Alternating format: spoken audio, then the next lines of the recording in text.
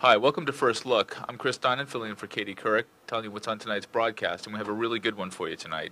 Um, we may begin tonight with the battle, a pitched one that's going on between the states and the federal government involving some really serious issues, important issues about uh, greenhouse gases and uh, car emissions that we think is really important because it will chart the course of the environmental movement over the next few years.